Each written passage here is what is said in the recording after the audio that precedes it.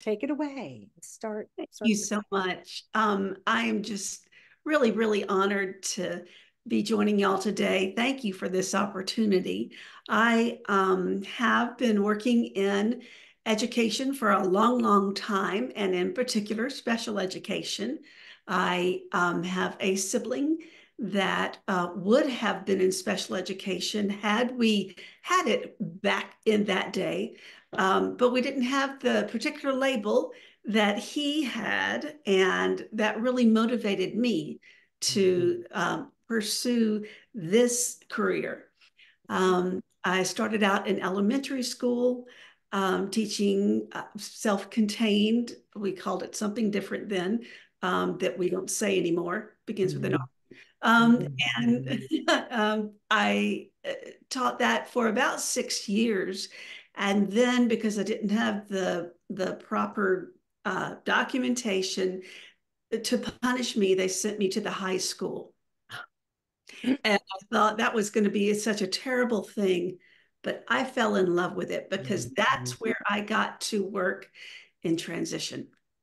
Mm-hmm. And that was the best thing that could have ever happened because students that are looking at the reality of transition get really serious. They get mm-hmm. serious about what they're going to do, they get serious about what they're interested in, and they get serious about what they need to learn.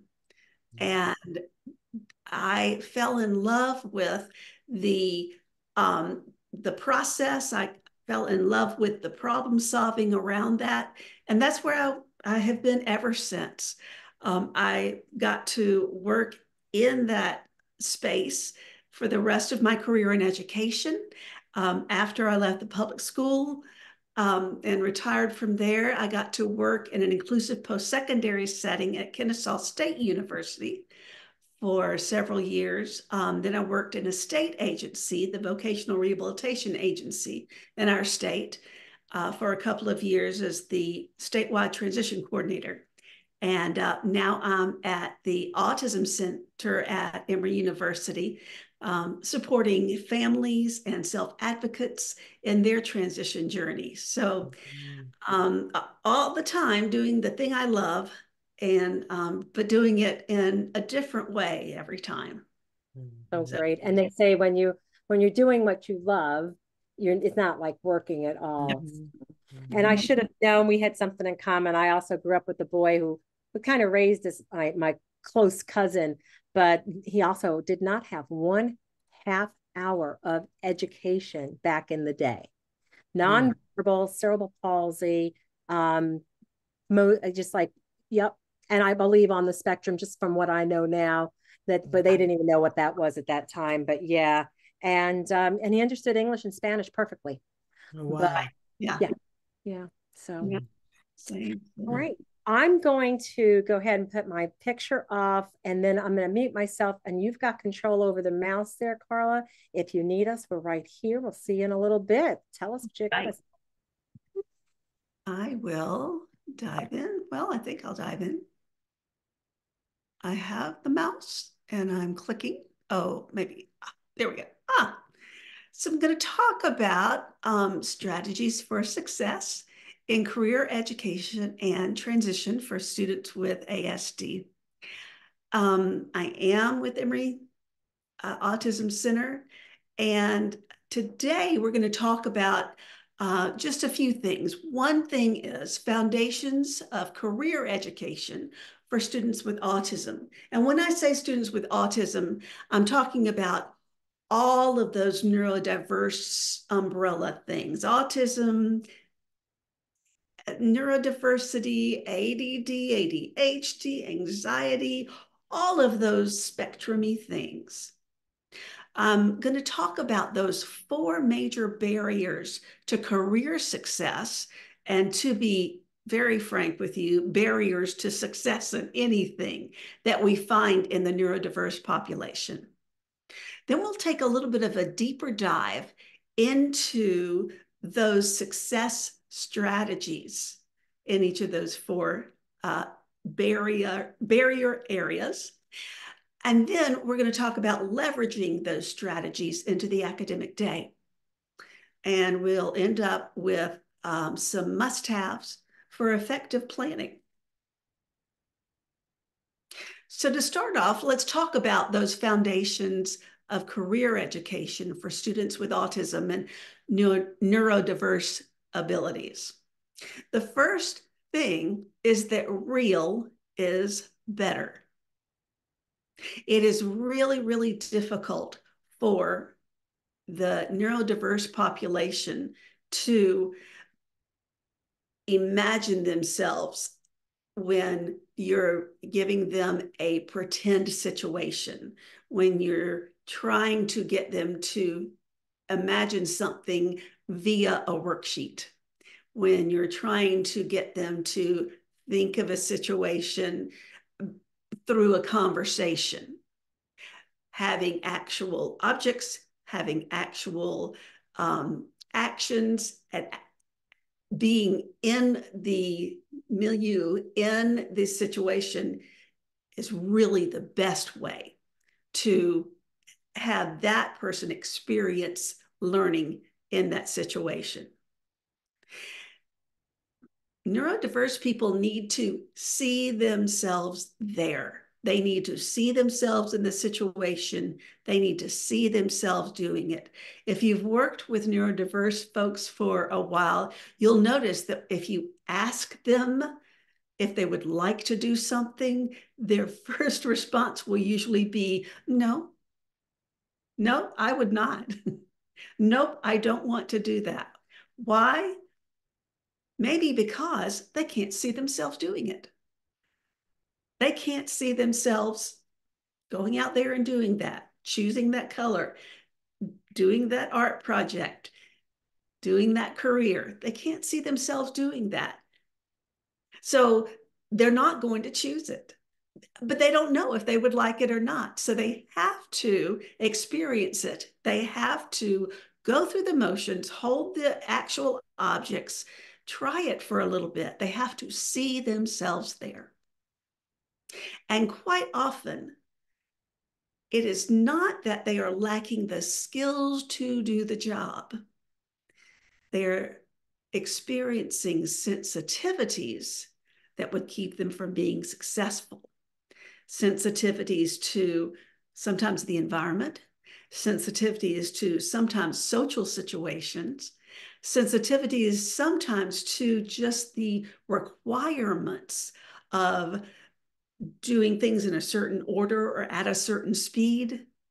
But quite often it's not the skills, it's the sensitivities. So keeping that kind of foundation triangle in mind let's talk about some of those challenges, those barriers to career success.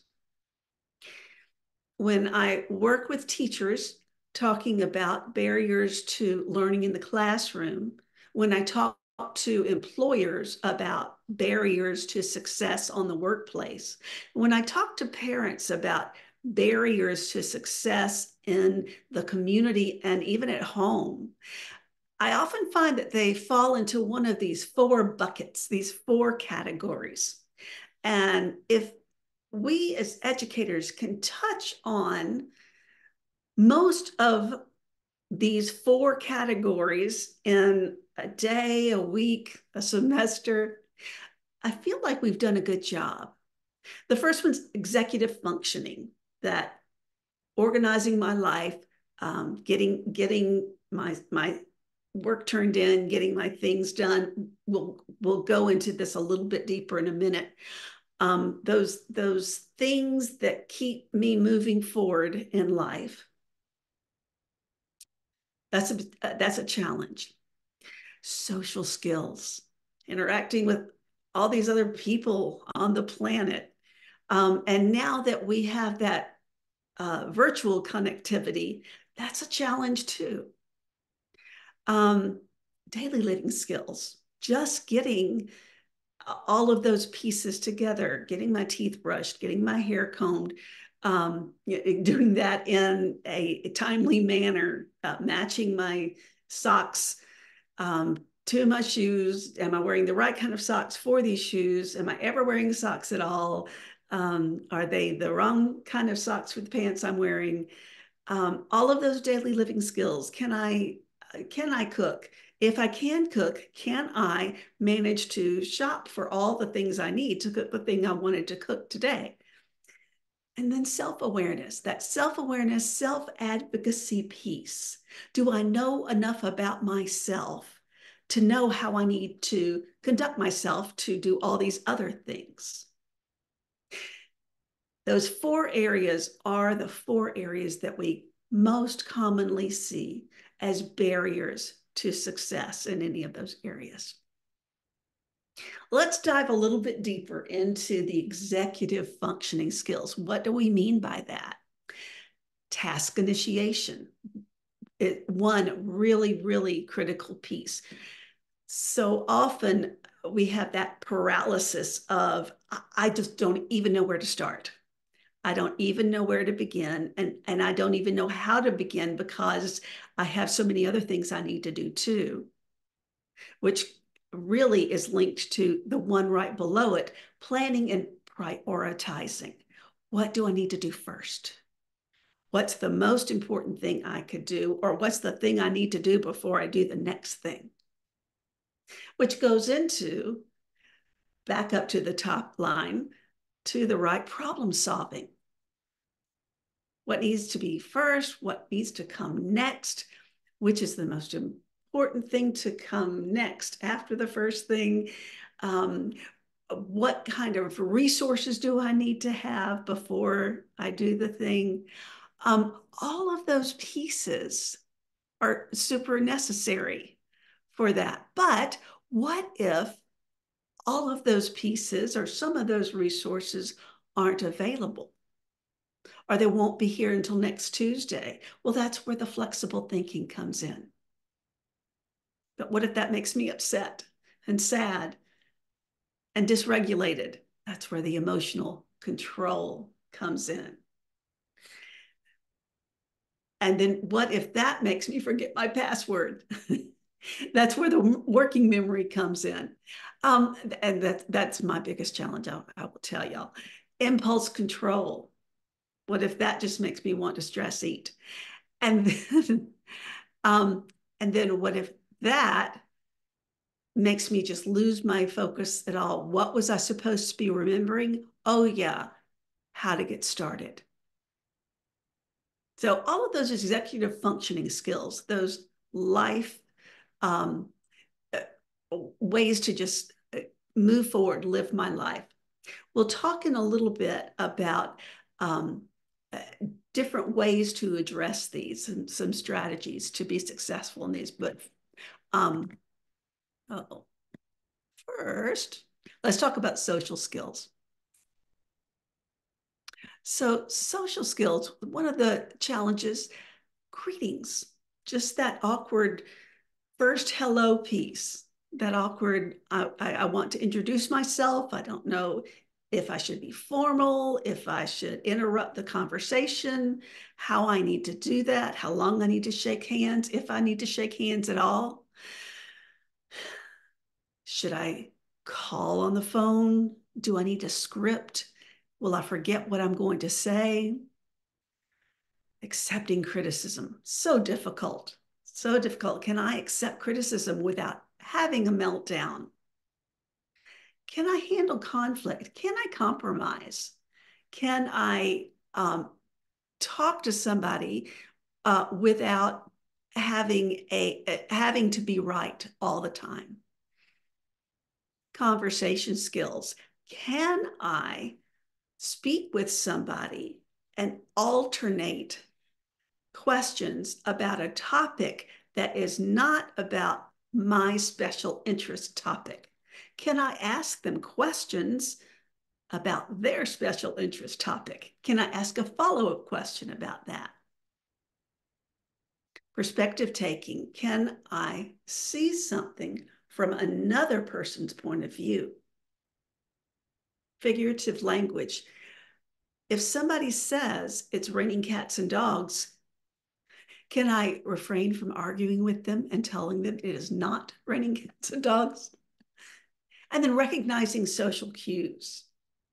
If I come up and start talking to somebody, can I tell when they don't want to talk to me anymore? So those are some challenges.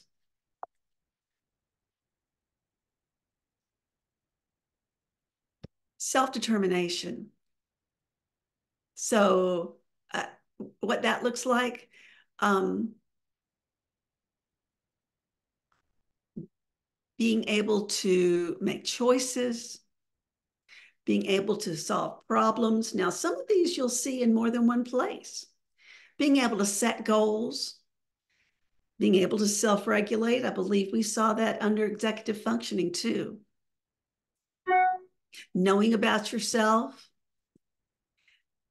self efficacy, having that feeling of I'm in control. I can make my own decisions. Self advocacy, being able to speak up for yourself because you know yourself.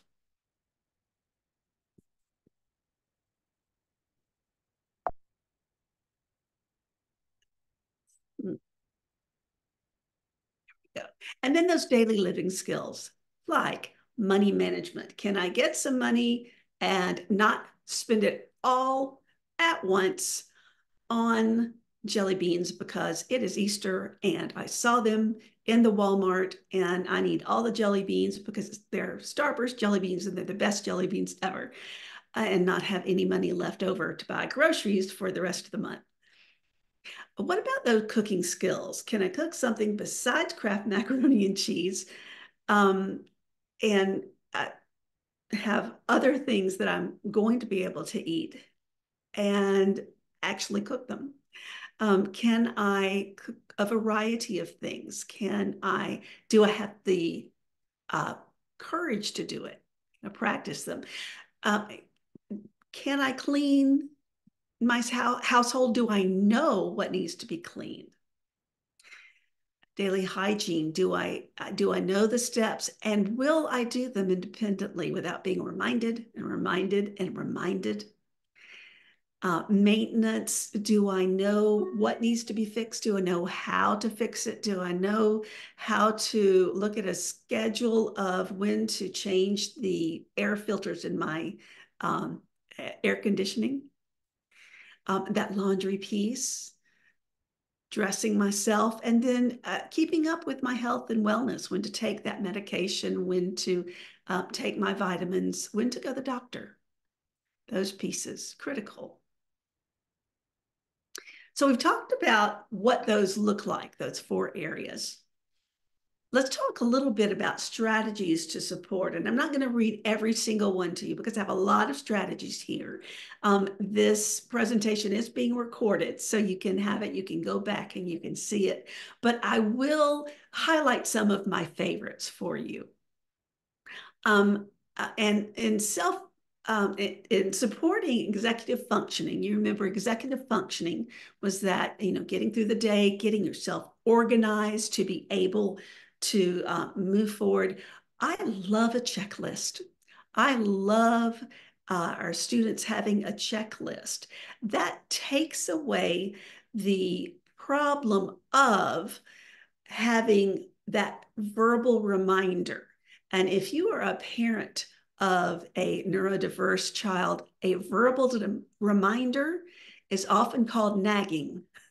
So that takes away that problem. If there's a checklist, then it can be the checklist fault that that uh, there's a continual reminder. The checklist can go on the refrigerator. The checklist can be on their smartphone. The checklist can be there, not from you.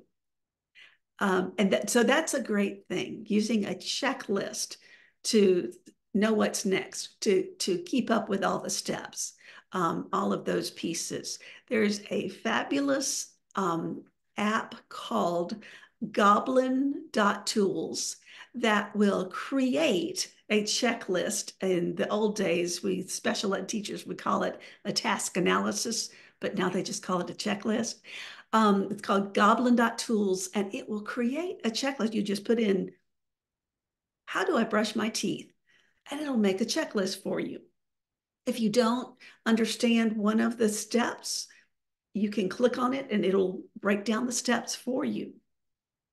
Um, if you say how to make an apple pie, it will yeah, do the the the steps for you. If you it's if you put in how do I change the oil in my car, it will do the steps for you. Um, so that that's a great resource that I really like. Um, I, I love checklists. I love um, modeling the uh, model setting goals and list steps to achieve those goals. That um, metacognition piece that um, working with students, if you or or or your own children, um, if you're talking through what you do, okay, I am a little bit upset. And so I'm going to take five deep breaths because that calms me down. So I'm taking five deep breaths now.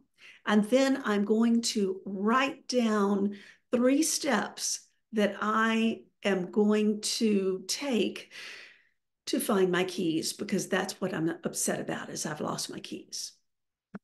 So if you talk through it, that, that model setting goals, that metacognition piece, um, I'm modeling what I'm doing.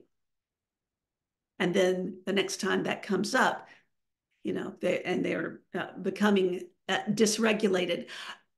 Uh, remember how I took five breaths and then wrote down my steps.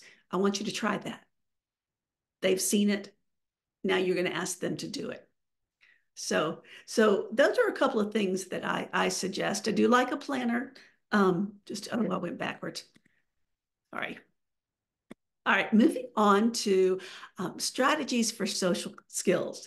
Uh, the strategies for developing social skills are get social, go and get social, volunteer, um, uh, get out there, get some experiences, join a club, um, go to a sports event, go to camp, um, go to um, a, an open house event. Um, I'm mentioning modeling and that every time you see modeling, think that I'm saying metacognition. You're showing them how to do it. Model conflict resolution. Sorry, that's my office manager, um, McAllister. Um, modeling conflict resolution. You're going to stop if there's a conflict coming up. You're going to say, okay, we have a conflict here. I'm going to model how to resolve this conflict, and you're going to stop. You're going to talk about the steps that you're um, going through, and then you're going to invite them to do the steps with you. I'm going to take a deep breath because I'm getting emotional. And then I'm going to try to see this from another person's point of view. And then I'm going to try to come to a compromise. And that means um, what um, uh, what the other person would like, some of what they would like, and some of what I would like. Um, oh, sorry, sorry, sorry. And then um, asking for needed accommodations. Big, big, big important piece. That is very important. Being out in the community, being out in the club, being out in the sporting event, event being out volunteering at a business, that's where you can ask for the accommodation. Hey, um, this light is really bothering me. Is there any way that we cannot have an overhead light on all the time. Um, maybe or maybe not, but that's a way to practice asking for accommodations. And the last super important piece I want to um, promote um, is the possibility of using social stories, and I've added situation cards. Um, and I believe it is true that um, education associates in the discovery, a project discovery piece, some situation cards um, that they use in in that piece of the um, the curriculum. Is that still true, Lisa? Yes, it's true. We have okay. situation cards. We also we, role playing is really what we call it in the kits. And we have some role playing that's provided for you, but we also encourage students to come up with their own role play and to work that out that way. Thank you for confirming that. Um, yep. So, so uh, one piece of my history that that I'm super super proud of is I got to be an early contributor to this curriculum, and um, I did some work on the situation cards. So um, years and years ago. So super excited that that those are there. I absolutely uh, recommend using those kind of things. They're really short um, really to the point. It's it's not it's not Shakespeare. It's just a really short little um, uh, role play situation where you ask them, okay, here's the, here's what's going on. What would you do? What should you do? Here, here's what's going on. Let's think about it. Um, I, I really recommend um, doing that. Now, earlier I said it's really hard for kids with uh, autism and neurodiversity to imagine themselves somewhere else. So I recommend that you take those out after they have been in a situation like this. So give them the opportunity to be out in the community, to have a conflict, to be um, volunteering, to do the situation, to try asking for an accommodation, and then come back together and say, okay, let's debrief. What would you do if? Here's a situation card. Um, and then those strategies for self determination. Oh, please support choice making. Please don't make all their choices for them. Some choices are choices that they can make. Um, some choices are choices that are fine for them to make and, and, and really won't bring the world to a halt if they make their own choices there. Um, setting goals, um, being able to um, participate in the IEP process. That's all full of goals. It's nothing but goals. Have them uh, participate in that for sure. Um, I've put um, volunteer positions here as well because that's a great place to develop those uh, self-determination skills. And then, and my favorite one here is value the dignity of risk. Our students need to risk things. They need, and hear me when I say this with love in my heart, they need to fail. They need to have the opportunity to fail. And what better place for them to fail than the safe place that we're providing them as teachers, as parents, as people that love and care about them, so that they can learn from that experience, so that we can say, oh, that did not work out the way you wanted it to. What would you like to do differently next time? So that you can have the outcome you want. I call that a feather bed failure.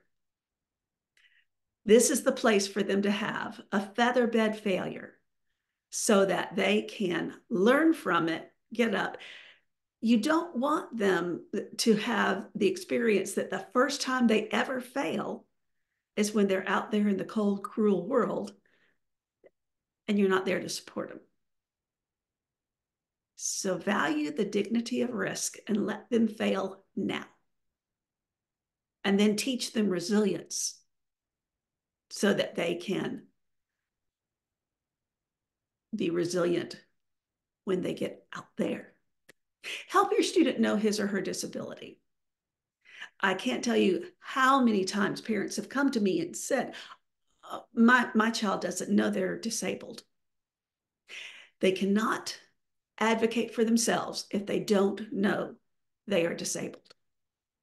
And when they go off to college, when they go off to work, when they go off into the community anywhere and they don't know that they have a disability, they cannot ask for an accommodation.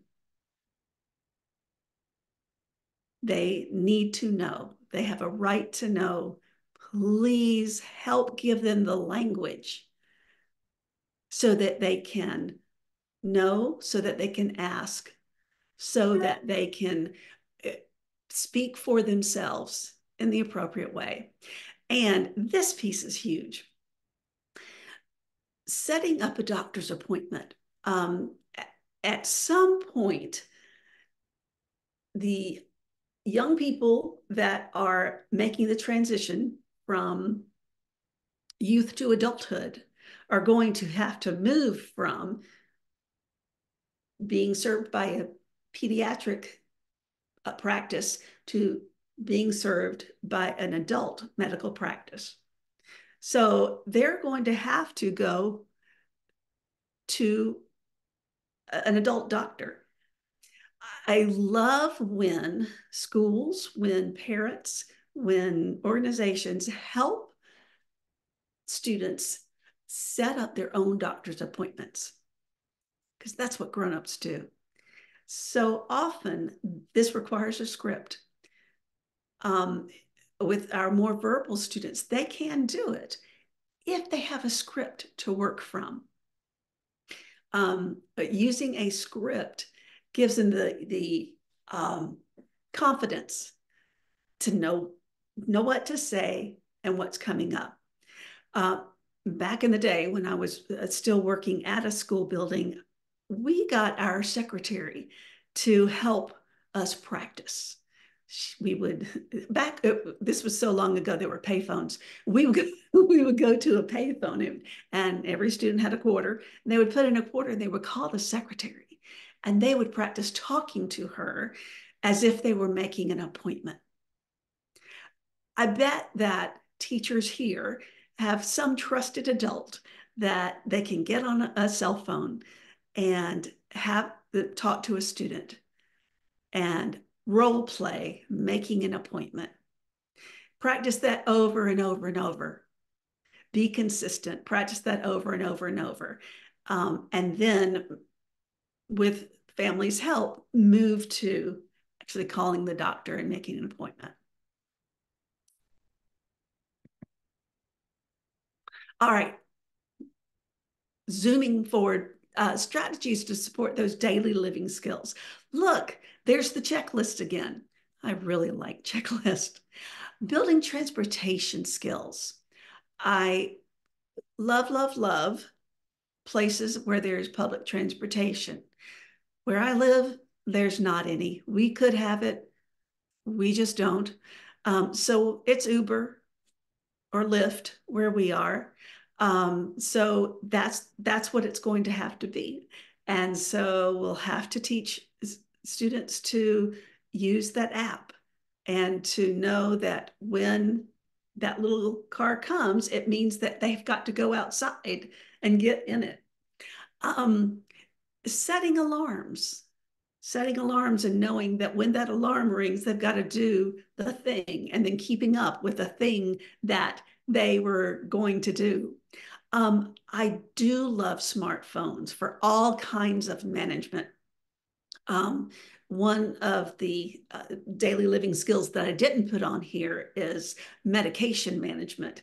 Um, I have an app, I believe it's called Medisafe, M E D I S A F E. Um, and I'm at that special age where I've got about a billion pills that I take at different times of the day. And I can put in this app all of my pills I can have different alarms for when I'm supposed to take them, and I can share that information with my daughters so they know if I'm taking them too. Imagine, same thing can happen with um, your students and their parents. Everybody can know when the medicine, medicine is supposed to be taken, if they took it or not, and then you know what's what's going on there. The other piece is that it's not just an alarm that goes off. I can have fun voices remind me. I can have mickey mouse.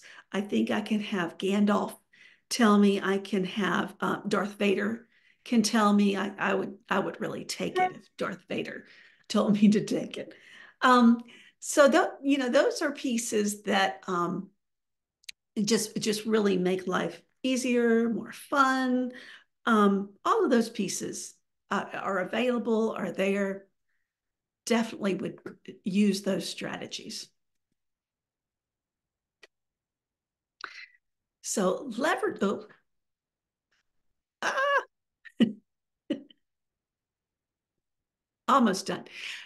So leveraging those strategies. Um, be sure you're working with those discrete outcomes and hands-on activities. Make sure that your students know what you're asking of them, what you want the outcome to be, where you're headed, what you want them to do, and then provide them with those hands-on activities. What they're, what they're able to do and make sure they're consistent, especially with the students who require more supports. Give them the same things to do over and over. Sometimes, uh, at, part of my job at one point in time was a community based job trainer. So we would take students out to places. Um, for instance, I went to the Target um, stockroom for many, many years. I had uh, many students we would train in the Target stockroom, and our best job in the world was um, shoes. We would take the shoes as they come in. We would take them out of the box and we take all the tissue and sticks and stuff out of them and put them back in the box, heel to toe. And this was a great job because it was the same thing. There were always some kind of shoes in that box. And there was always the same kind of stuff in it, tissue. Um, and we were always doing the same task taking them out, cleaning them, putting them back in. But there was enough variety. There were brown shoes and there were key heels and there were sneakers and there were, you know, flats and there were boots and there were all kinds of different shoes, but they were always shoes um, the managers were very impressed with our work and they wanted to come and let us go over to sporting goods and try that because they were afraid we were bored. And I said, no, no, no, we're very happy. Please leave us here in the shoes because that was a consistent job, a consistent task. We were that, that we were getting independent. We had a rhythm. We were, that's what we needed. We needed that consistent system um, because that was allowing us to build those work skills, be able to work on those social skills, uh, be that kind of worker that was confident, that knew what we did and where we were. And, and I'm not talking about students that needed less supports. These students needed a significant amount of supports. Um, they let us uh, continue that for a, a, good long time. Um, and then they stopped doing shoes that way. But that's that's the, the real world world. That's real life. Um, use those checklists, use those calendars, use those um, those good teaching uh, pieces that you know. I want to mention something about backwards chaining, especially for um, our students with autism that require more supports. Backwards chaining is when you start at the end. And then you add a step towards the beginning every time. For instance, if, you, if you're teaching them to do laundry, then you start at the end. Starting at the end is I give you your folded laundry, and your job is to put it up. And then when you get good at that, I give you your unfolded laundry, teach you to fold it and you put it up. And then I have you take it out the dryer, teach you to fold it and put it up. You see how I'm going backwards? Why? Because if I start from the beginning and have you separate, you know, whites and darks and the, it's so long till you get to the finish. It's so long until you get to the part where you can put away your laundry and have have that finished and and enjoy the finished project. And if, if we start from the end, you get to celebrate being finished and having that, that finished piece first. So consider what task you can do that you can start with backwards chaining. So that, that's what I recommend. And then the other piece, and this is especially for those students that require less supports, coaching in those setting priorities, building schedules, initiating tasks, um, those, those pieces that stand in the way of how am I going to be successful in the office? How am I going to be successful in college? How am I going to be successful out in the workplace? And so here are some must-haves. Um, presume that the student will participate and then figure out how. How often have you been in a planning um, or strategic session and heard someone say, oh, she can't do that. She can't do that. She can't, she can't come to chemistry class. She, she can't understand that stuff. No, no, no. We're going to have inclusion. How is she going to participate? Make sure that every student's voice is included in every decision.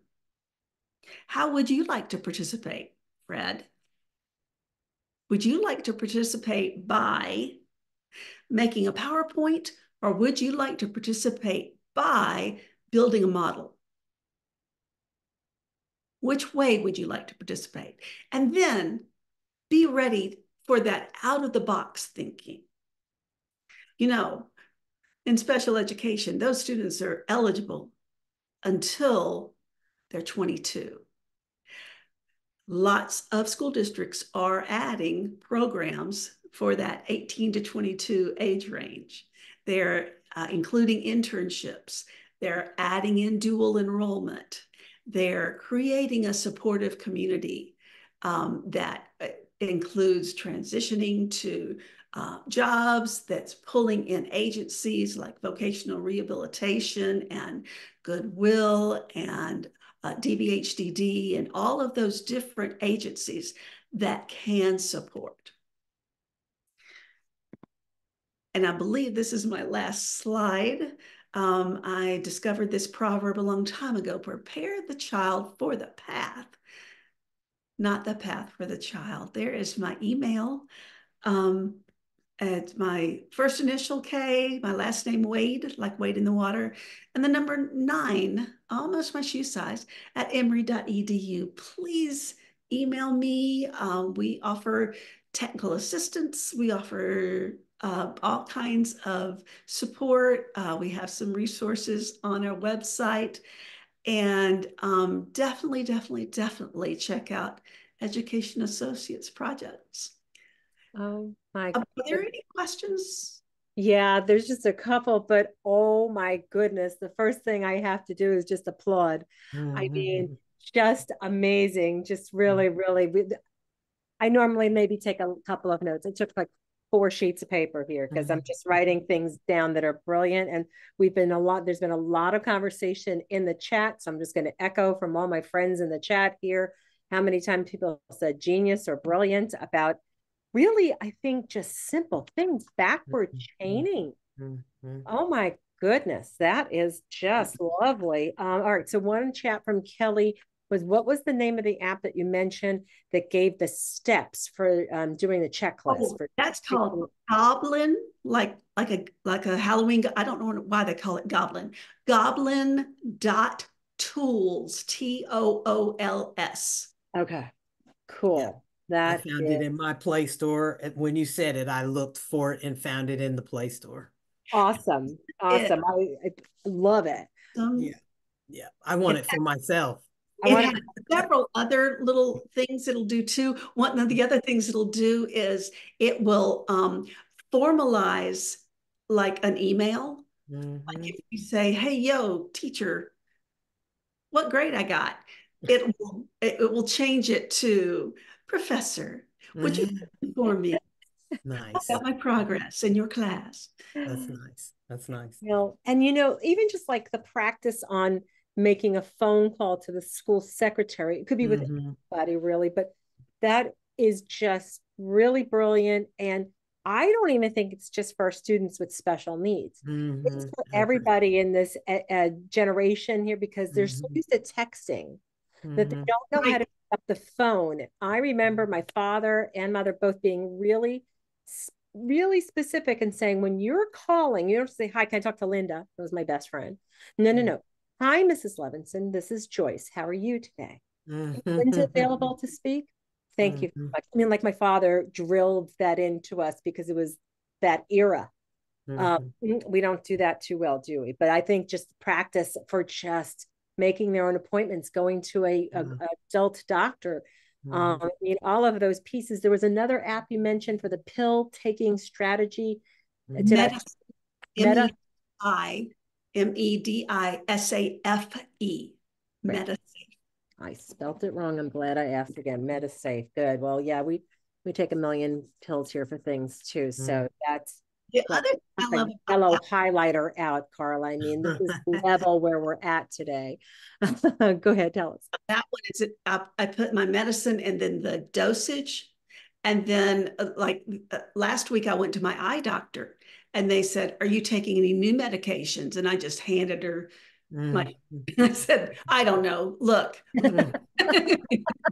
this is what I got. I don't, what, what did you have last time? And I don't know. right. Because you don't know what she had Yeah. last time. I You don't just know have what you no did idea last time. This is what I've got now. Um, would you just look? Um, well, there was a lot of requests for a copy of the slides. So Felisa will take, uh, we can make a PDF of them as well. And that can go out with our, re- our recording, because we do a, rec- we do an email to everybody who registered with the recording.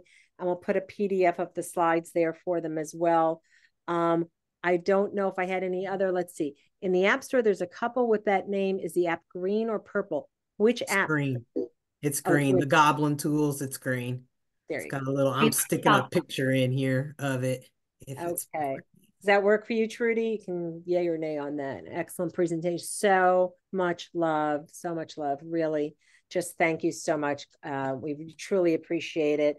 And I love this closing um, comment here. So um, we thank you. And I'm just going to tidy things up a bit here um, just to say um, that we do uh, not only provide the the recording and we'll do the, the slide listing here because that was just so important but you can share that recording with anybody so Mhm. you go to our website educationassociates.com look at the resources tab and there's a whole bunch of stuff in resources but Mhm. there's one that's webinar wednesdays and so you can tell and so your your colleagues you can Mhm. share it with your staff you can share it with parents i mean Mhm. there is a lot of tips that you just gave us, Carly, that. I would love to share with some of the parents for students that I've worked with Because they don't necessarily, if they hear it from somebody else, they'll listen.